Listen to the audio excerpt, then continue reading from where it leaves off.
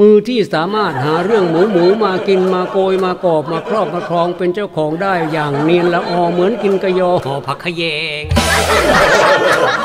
เฮ้ยยอดยอดยอด แปลได้ยอดเยี่ยมจริง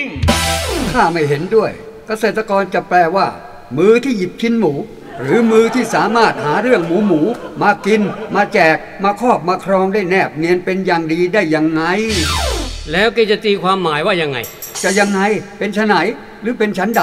ต้องส่งให้คณะตุลาการตีความสิแค่คำคำนี้ก็ต้องตีความเหรอใช่เอาอย่างนั้นก็ได้เออกลุ่มใจ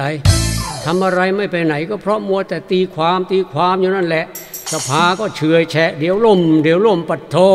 เซ็ง